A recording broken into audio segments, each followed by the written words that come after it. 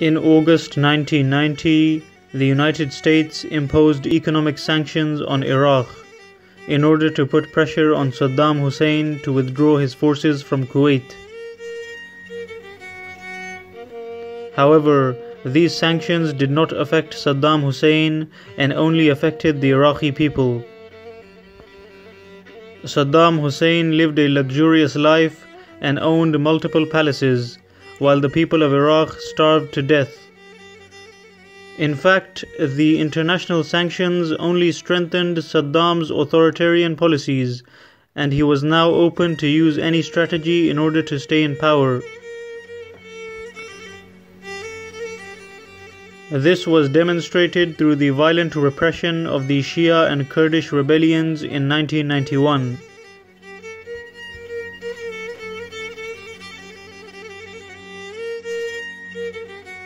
In the 1990s, Iraq was extremely poor. Over half a million children died due to starvation and a lack of medicine. Eight years of the Iran Iraq War the Gulf Wars, and economic sanctions imposed by the United States destroyed the economy and social order of Iraq.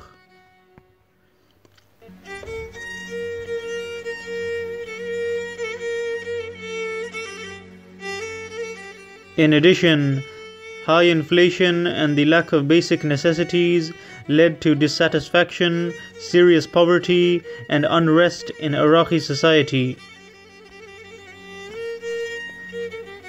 the oppressive Saddam regime, wars with Iran and Kuwait, and the American sanctions produced a strong sense of injustice in Iraqi society. During this volatile period, one of the biggest opponents of the Saddam regime was the Islamic scholar and preacher known as Muhammad Sadiq al Sadr.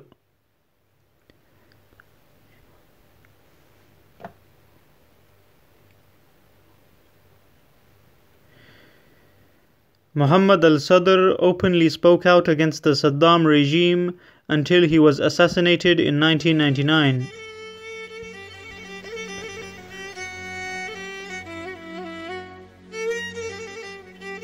After completing his Islamic education, Muhammad al Sadr became highly politically active and engaged in anti government activities. As a result, Muhammad al Sadr was arrested, imprisoned, and tortured multiple times. Muhammad al Sadr was tortured severely by the Saddam regime, which left him physically handicapped. After being released from prison in 1991 and witnessing the terrible economic situation in Iraq, Al Sadr created an organization which helped provide basic necessities to poor families and addressed the social problems in Iraq.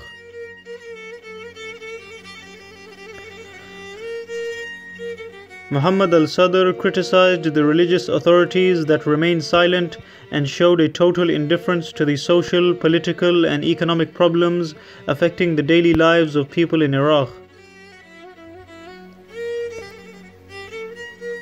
Muhammad al Sadr criticized scholars such as Ali al Sistani for remaining silent in the face of injustice and tyranny. After the 1991 uprising against Saddam was brutally crushed, people were too afraid to speak out against the regime. However, Muhammad al Sadr did not fear anyone.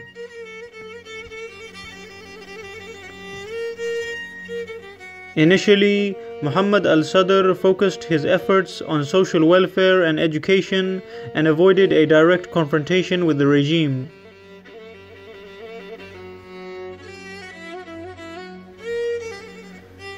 Muhammad al Sadr used his position as an influential religious authority to implement various social reforms in the slums of Baghdad and in poor areas in southern Iraq.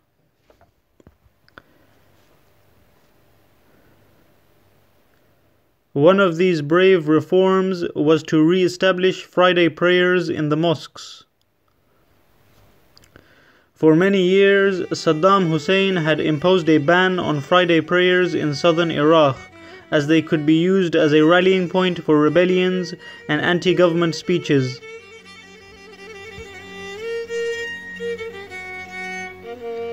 Despite threats and warnings from government officials, Muhammad al Sadr re established the Friday prayer, which had been prohibited for 45 years. Initially, the authorities tolerated the re establishment of Friday prayers, and the government tolerated Muhammad al Sadr. This is because his speeches were restricted to discussing social issues and criticizing American sanctions against Iraq.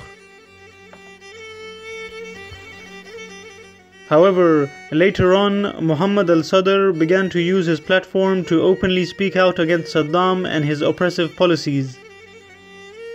Therefore, Muhammad al Sadr became a huge threat to the regime and they decided to assassinate him.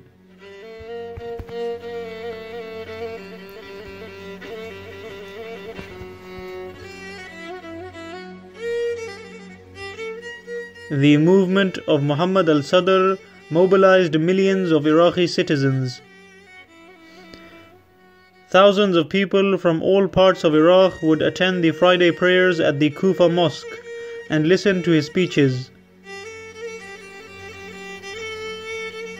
Muhammad al Sadr also gained the support of the poor and marginalized tribes in the south as well as having the support of the Shias in Baghdad and poor tribes in the south, Muhammad al Sadr also gained the support of many Sunnis in northern Iraq who would watch recordings of his speeches. Muhammad al Sadr rejected sectarianism and stated, There is no Sunni and no Shia, yes to Islamic unity.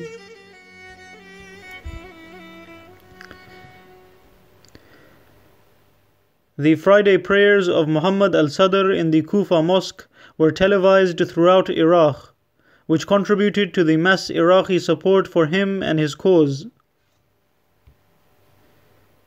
Furthermore, the followers of Muhammad al Sadr videotaped his activities and speeches and distributed them to the Iraqi people.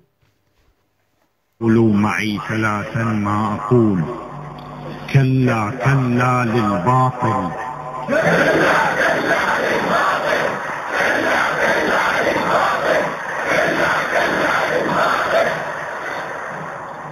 كلا كلا امريكا كلا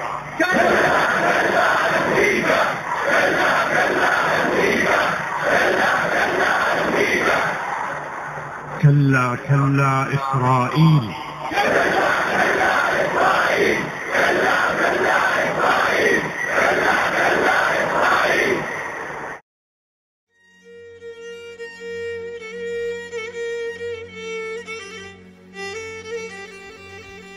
Eventually, Saddam Hussein began to send agents to spy on al Sadr and keep track of his activities.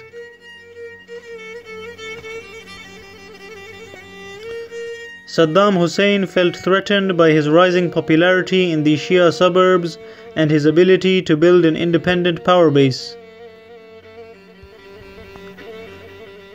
As the popularity of Muhammad al Sadr grew, Saddam began to impose restrictions on him and demanded that Muhammad al Sadr praised him and prayed for him before starting his Friday sermons.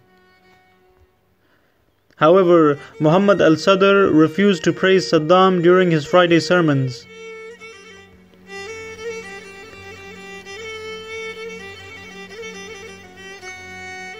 This infuriated Saddam, who then banned the Friday prayers once again and banned Muhammad al Sadr from publicly speaking.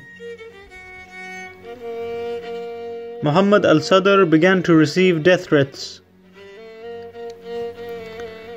Despite all of this, Al Sadr continued his Friday prayer gatherings and his speeches, which addressed the poor economic and social situation in Iraq. After disobeying a direct order from Saddam, Muhammad al Sadr knew that death was inevitable and that he had nothing to lose. Therefore, Muhammad al Sadr began to wear a white cloth which is used to cover dead bodies during Islamic funerals. Muhammad al Sadr wore this white cloth during every speech he delivered, in order to show the regime that he was not afraid to die.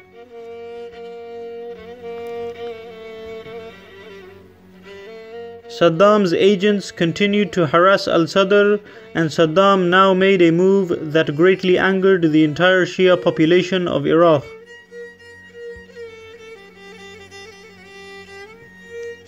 Saddam placed a ban on the annual Shia pilgrimage to the city of Karbala.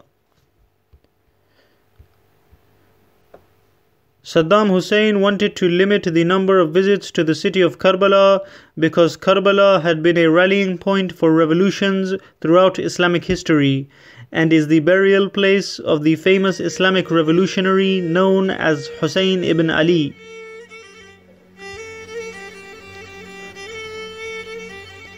Despite this ban, Muhammad al Sadr encouraged his followers to travel to Karbala.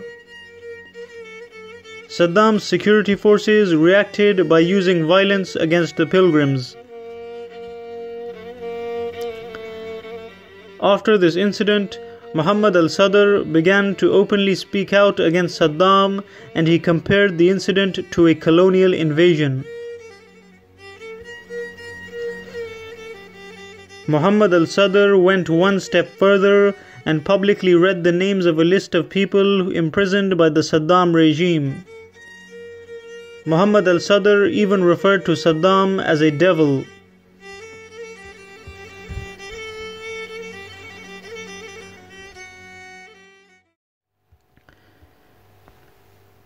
After returning home from Friday prayers on February 19, 1999, Muhammad al Sadr's car was stopped by armed men and he was shot to death along with two of his sons.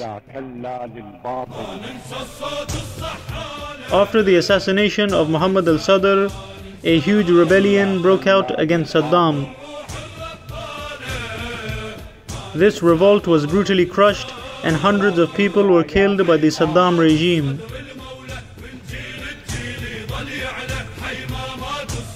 After the death of Muhammad Sadiq al Sadr, his youngest son, known as Muqtada al Sadr, became the leader of the movement. When the Americans invaded Iraq in 2003, Muqtada al Sadr led an armed resistance against the American occupation in Baghdad.